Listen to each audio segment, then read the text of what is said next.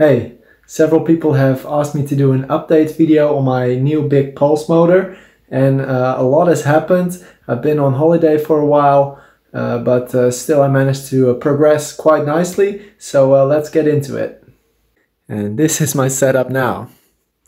As you can see, quite a lot of uh, progress has been made. the rotor has been assembled, epoxied everything together. I made some temporary test stands out of wood. Uh, in the end, it's, uh, it's supposed to have a nice case with 12 coils. Right now, I just have these two coils down there. And um, in case you haven't watched the previous video, it's a north-south setup with a strip of metal in the back, or a soft iron actually. And also these uh, coils are connected like that, so you're gonna have a closed magnetic loop going on. That's uh, the idea of this uh, this motor. And um, I have two very small, but they're still 48 volt battery banks. Um, and it took me literally forever to figure out the battery swapping uh, circuit. Uh, Paul Babcock somehow didn't want to share any of that uh, publicly during his presentation. He said you have to figure it out yourself. Well, that's what I did. Um, what I, uh, I, had several ideas for the battery swapping, but I settled on this idea from Rick Friedrich, and it's uh, it's a really good system. It uses this uh, four pole double throw um, latching relay, um, and the good thing about it is that um, this one relay can uh, do all the switching. So you don't. A lot of setups use two relays. Uh, also, the fact that it latches is great because uh, with a regular relay, uh, half the time you'll have the power on, so current will flow through, and then when the current's off, it switches to the other side. That means that you're using power half of the time, which is a shame because with this latching one, you just give it a little pulse and it switches. You give it another pulse and it switches the other way. So that is uh, that's great. Um, yeah, so I got this idea from Rick Friedrich here. Uh, however, I did build my own little driver circuit there. It's very simple. It's two diodes, three resistors, and three uh, tiny transistors. And uh, I'm using two uh, Arduino pins as well. Here is the schematic. Um, so what it does is uh, with this pin, it uh, sets uh, the relay one way. And with this pin here, it sets the relay the other way. but it also simultaneously um, pulls the enable pin on the MOSFET gate driver to ground, which turns it off. So the good thing about that is that a lot of people using relays in these battery swappers um, tell me that their uh, relays burn out. Uh, so what this does is it actually turns the motor off while the relay switches by uh, using this enable pin on the gate driver.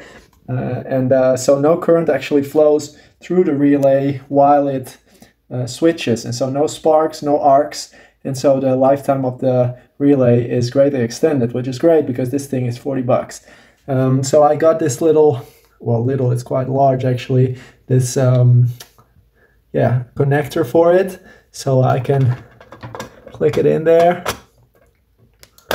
like that. And um, so that's perfect because then you have all these screw terminals with, it's still a mess of wires, but at least it makes it a little, uh, little clearer. Uh, I will share the schematics and also the wiring uh, diagram and everything uh, in the description of this video. Um, also the schematic of uh, yeah of this little driver board and everything. And uh, another thing I worked on for a very long time is the actual driver board. Um, it uses a uh, gallium nitride FET and uh, very fast rise times it achieves. It achieves like rise times of uh, less than 10 nanoseconds uh, if everything's set up correctly. So that's uh, pretty impressive. it took me months and months to, to design this, and uh, I had a big issue with the gate driver uh, blowing up all the time. Turned out that the because this gate driver is dual channel, so it has uh, you can use it to drive two MOSFETs at the same time, or you can combine those two channels to drive a single MOSFET even harder, so you can switch it even faster. That's what I did, but in that case you have to keep your your signal uh, wire very short because it needs also a fast rise time. Else one channel might open before the other one, and um, then yeah, you can get an exploding um, gate driver um, because longer wire means slower rise times, and um, then that happens that situation. Also, I had to um, change something on the PCB uh, because I used only a single gate resistor and I had to use two uh, one for each channel. So uh, that was my mistake. This is the very latest version. I sent one of these to uh, to uh, a client actually. Someone bought it. Uh, it's available on my website. I'll post a link here. Also in the description. Uh, it's available for purchase. I have enough parts for one or two more, and I can always order more parts. But it works really well. so I think I talked enough now. It's it's it's time to show how it all works. Everything is hooked up now. Uh, every 10 seconds I set it now to, to switch to relay, so let's have a look. See, there it went. Um, I'm measuring the voltage of this battery bank just so you can see when it is drawing power and when it is getting power back from the flyback. Um, also just briefly, this is the schematic of the gate or of the yeah the motor driver but I will uh, put a high resolution version in the description as well so you guys can check it out so uh, let's give this puppy a spin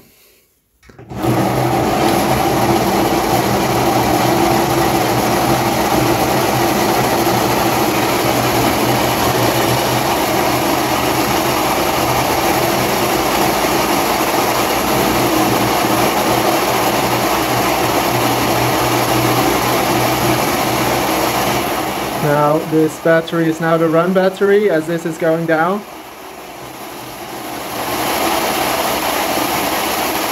Now it's the charge battery, now it's going up, the voltage.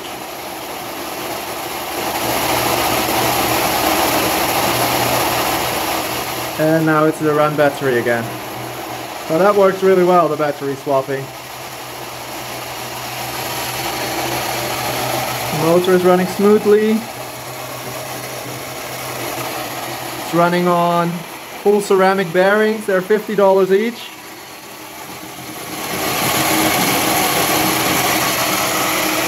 The motor currently doesn't have a lot of torque, so it takes it a while to uh, get up to speed.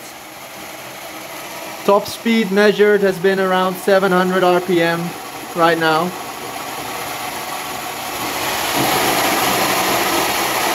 But this is the setup and it works.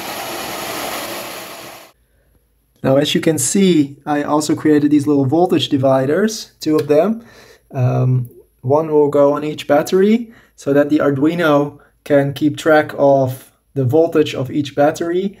Um, also, it keeps track which battery is active and it will also register the RPM. And this is a special um, Arduino I got off of AliExpress, which also has a Wi-Fi chip on it. So it will then using Wi-Fi, we'll post it to a little web dashboard that I'll create. At least that's the plan, so that I can keep track of uh, the batteries and uh, the whole system, even when I'm not right here. So that would be quite cool. I'll keep you updated on that too. I'll also share the Arduino code. Um, uh, I'll create a, there's a public repository. I'll, I'll put the link in uh, the description as well.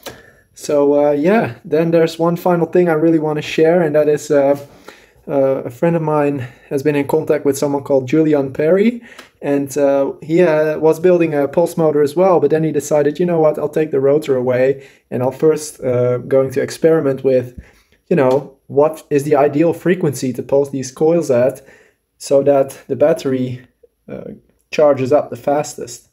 Now he wrote an 80-page manual. Um, with incredible results in there. He got up to uh, coefficient of performance of 38 and that is extremely impressive obviously but it also highlights something that we as pulse motor builders might be overlooking and that is each battery each type of battery and each size of battery has a preferred frequency pulse frequency uh, and also a pulse voltage uh, and unless we tune that unless we first determine what the ideal pulse frequency and pulse voltage is to charge these batteries with, uh, we would only see any good performance, like a high COP, if we're lucky. So ideally, we would work backwards. We wouldn't start with building a motor and then hoping it works. No, we would first determine what is the ideal frequency and voltage to charge these batteries with. And then we design a motor that runs at that frequency, at that RPM, so that we get the best charging um, situation. I think this explains a lot of the reasons why some people see results, but then it can't be replicated. And that's just because their motor happens to run at the correct RPM for the batteries that they're using. So it's uh, it's the other way around, guys. We, I uh, urge you to read that document in detail. It's in the description. And um, yeah, please let me know how you go. Uh, I will keep you guys updated once in a while on this project if there's any uh, big changes. And uh, I'll try to share everything like publicly, like the schematics and everything. Um, yeah, if you want a fully working uh, gate driver uh, board or um, a motor driver board, then yeah, check out my website and in the link in the description and uh, you can order uh, one yourself if you want okay guys have a great rest of your week bye bye